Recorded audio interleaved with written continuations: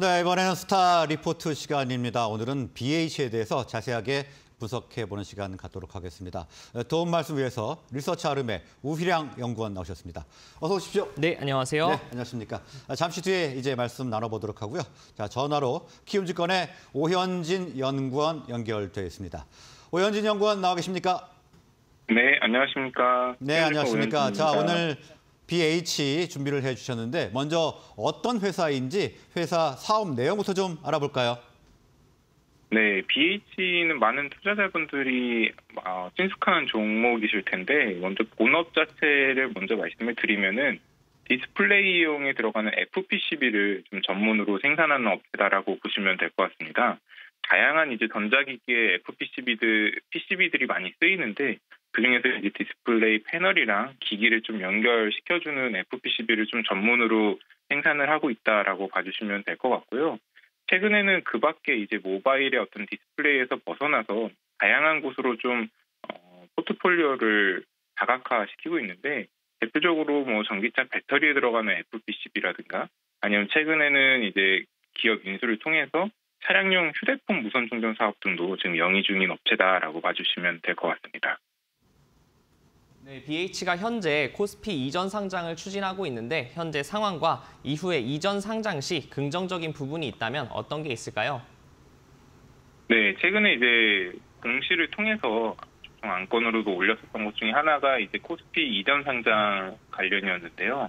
사실 오, 어, 코스피 이전 상장을 하게 된다고 해도 결국은 중요한 건 주가에 중요한 거는 기업의 펀더멘탈이 때문에 이게 뭐 주가에는 큰 영향이 없을 거다라고 보는 view도 있겠지만 저는 수급적인 측면에서 충분히 좀 긍정적인 면을 기대해 볼 수 있을 거다라고 보고 있습니다. 사실 BH가 코스닥 내에 있으면서 아무래도 코스닥 시장 내에서는 시총도 어느 정도 규모가 있는 어, 포지션이었기 때문에 이제 뭐숏 공매도라든가 이런 다양한 그 지수에 편입된 종목으로서 이제 구축할 수 있는 포지션이 많았는데 이게 사실 여태 동안은 어, 기업의 어떤 펀더멘탈과 다르게 어, BH의 주가의 좀 변동성을 키우는 요소 중에 하나였거든요. 코스피로 이전 상장하게 되면은 더 이상 추가적으로 공매도 구축이 좀 어려운 점이 있고요. 그리고 대부분의 이제 코스닥에서 코스피 이전 상장하려는 업체들의 목적 중에 하나가 외국인이라든가 기관 수급을 좀 더 원활하게 하기 위한 부분도 있기 때문에 지금보다 훨씬 좀 안정적인 투자 환경을 갖추게 될 요소가 크다라고 보고 있는 부분이 있어서 공매도 잔고가 최근에 최근까지도 많이 늘어나면서 발목을 주가에 발목을 잡았었던 BH 같은 경우에는 상당히 수급적으로 긍정적일 거다 말씀드리고 있습니다. 네, 현재 태블릿이나 노트북에 OLED 적용률이 상당히 낮다고 알고 있습니다. 현재 OLED 적용 IT 기기의 상황과 앞으로의 전망은 어떻게 보시나요?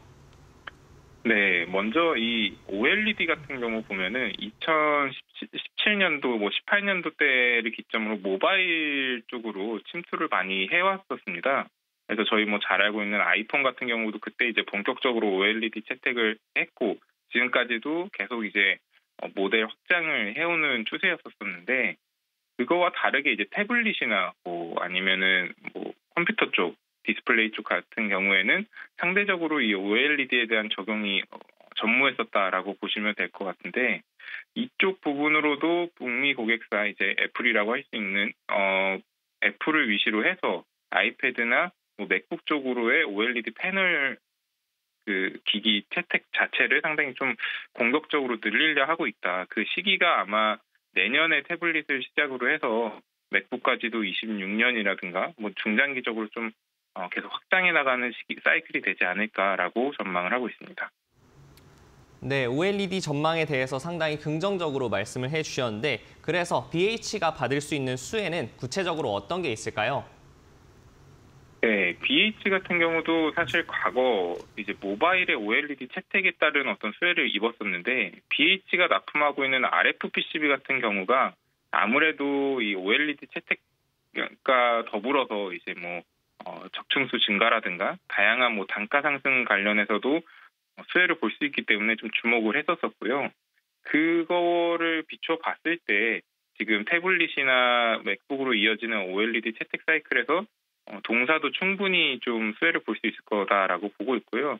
대표적으로는 말씀드린 것처럼 뭐 면적도 모바일 대비 넓어지고 이러다 보니까 들어가는 FPCB의 면적도 증가를 할 거고요. 적층수도 증가를 해서 단가 자체가 상당히 좀 높아지는 거를 기존에 이제 들어가는 것보다 훨씬 좀 높은 단가를 어, 기대할 수 있다는 점이 동사한테는 어떻게 보면 수혜가 되지 않을까라고 말씀드리고 있습니다. 네, FPCB 수요 증가에 따른 수혜를 볼 수 있다 이렇게 말씀을 해주셨는데요. 자, 올해 실적 전망하고요. 투자 포인트를 좀 짚어주실까요? 네, 올해는 특히나 좀 상저하고의 실적 전망을 예상을 하고 있는데요. 아무래도 주력 고객사의 어떤 스마트폰 판매량에 대한 어떤 비수기가 1, 2분기에 좀 집중돼 있다 보니까 상저하고의 좀 실적 흐름을 이어갈 걸로 보여지고 있고요. 연간으로 봤을 때 실적은 매출은 1조 6천억 원 이상, 그리고 영업이익은 1,200억에서 1,300억 수준을 달성할 것으로 보고 있어요. 사실 어 22년에 워낙에 이제 뭐 고객사와의 어떤 MS 점유율이라든가 이뭐 그리고 주력 고객사의 어떤 스마트폰 판매량 자체가 워낙에 좋았기 때문에 그거 대비해서 되게 좀 플랫한 실적이 예상이 되고 있는데 사실 말씀드린 것처럼 어 본격적인 이제 OLED 확장 기기 확장에 대한 사이클은 올해 연말이나 내년부터 좀 기대가 될 것으로 보여지기 때문에 본격적인 어떤 실적 성장은 어, 내년부터 좀 이어질 거다라고 보시면 될 것 같고요. 그렇다면 이제 투자 포인트 같은 경우도 결국은 이 중장기 성장성입니다. 지금 작년과 flat한 이제 영업이익 뭐 1,200억에서 1,300억 수준을 달성한다고 해도 지금 주가는 상당히 valuation 부담이 없는 상황이고요. 여기서 앞으로의 어떤 중장기 성장성을 감안을 하면은 valuation level up도 저희가 염두를 할 수 있기 때문에 어, 좋은 지금 투자 시점이지 않을까라고 말씀드리고 있습니다. 네, 올해 매출 1조 6천억 원 이상 그리고 영업이익은 1,200, 300억 원 이상을 어, 예상을 하고 계시는데 이 영업이익을 고려했을 때 어, 현재 주가는 밸류에이션상 어, 좀 낮다 이렇게 보고 계시고 어, 중장기 성장성을 주목할 필요가 있다 이렇게 정리를 해주셨습니다. 자, 오늘 말씀은 여기까지 듣도록 하겠습니다. 고맙습니다. 네, 감사합니다. 네, 지금까지 키움증권의 오현진 연구원이었습니다. 자, 우일랑 연구원님. 오늘 BH에 대해서 지금 설명을 쭉 들었는데 오늘 리뷰를 좀 한번 해볼까요?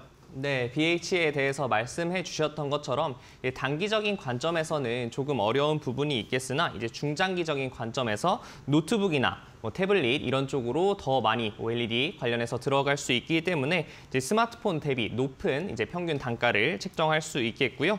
이에 따라서 동사도 충분히 수혜를 볼 수 있을 것으로 기대됩니다.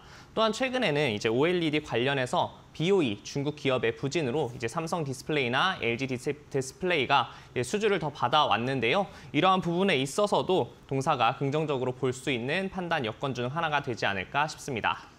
네, BH 지금 설명을 해주셨- 해주셨는데 오늘 어, 뭐약 어, 오늘은 코스피가 강세장인데요. 어, 약세를 지금 나타내고 있습니다. 이 시간 현재 1.9% 정도 하락하면서 2만 5천 원 정도 어, 수준을 보이고 있습니다. 자, 오늘 말씀은 여기서 마무리하도록 하겠습니다. 고맙습니다. 네, 고맙습니다.